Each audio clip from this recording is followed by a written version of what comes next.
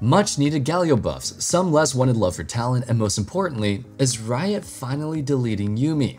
Hey there summoners, Riot has released the full list of changes that we'll be getting on patch 13.6. It can be really easy to get baited into thinking that a buff really means something is automatically good and a nerf means something is instantly bad, but that's definitely not always the case. And that's why I'm here to break things down a bit. We'll get started with the system changes first, since these changes are a bit broad and potentially affect the meta a lot more than any champ specific changes. We're once again seeing some changes directed at the jungle, with just a slight nerf this time. The buffs dragons give are being reduced by 9 to 10%. Any nerf is a nerf, but this doesn't really seem that crazy honestly. And early ocean is still gonna be a really nice treat for laners.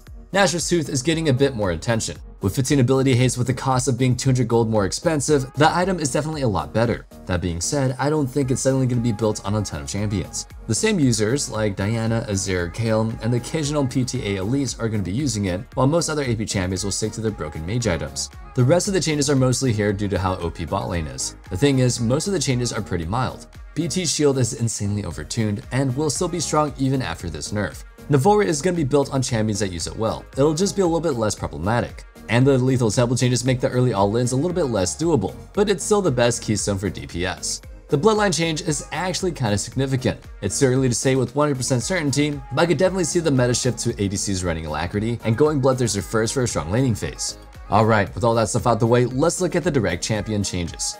You may think that the Vayne changes are kind of mediocre, since she's losing a lot of tank killing power, and this is a very tank heavy meta, but here's the thing. Even with her getting 2% lopped off her true damage, she's still going to be shredding tanks at the late game. The Vayne's biggest issue right now is dealing with the other ADCs in the bot lane. This bonus damage on Q will make it a lot easier to look for trades and will allow you to push leads when laning with an aggressive support. These Galio buffs may be aimed at making him a better, more all-round mid laner, but I think he's still going to be able to fill the same niche. Basically, if he was really good before, he'll just do better. And if it was previously a bad matchup, you shouldn't pick him. However, what I don't think Riot is taking into account is how big a buff this could be for Galio as a support. With all in bot lanes being super strong right now, Galio has already a few good matchups in the meta. He's definitely something that you'll want in your pool now. The Talon changes don't really mean a lot, but that's something I personally am pretty happy about. No one likes seeing their mid laner insta-dead at level 2, and knowing the game is about to be extremely hard.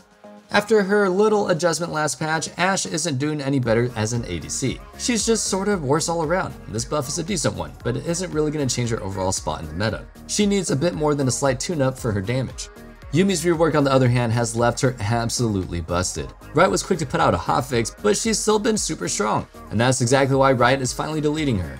I wish. Sadly, they're just still continuing with trying to balance her out into a healthy state. Spoiler alert, even with the second round of changes, we're pretty sure that she's gonna be really good, and really annoying to play against. She may not be quite as capable of hiding mistakes since her ultimate is losing those resists, but she still provides insane utility and supportive power while foes have no real counterplay. Riot has to just get it through their heads that untargetability isn't viable in League of Legends.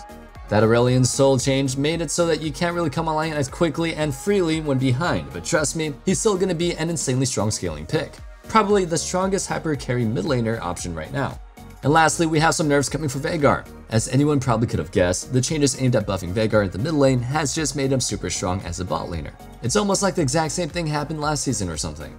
Anyway, he's still going to be a really strong AP option for bot laners, but losing that health and HP definitely makes him more susceptible to all-ins. So, when you're against him, you can look to punish his weak early game. That wraps up our 13.6 patch preview. As always, thanks for joining me for today's video. I can't wait to see you guys back in our next video, but until then, stay safe, stay healthy, and have a wonderful day. Peace.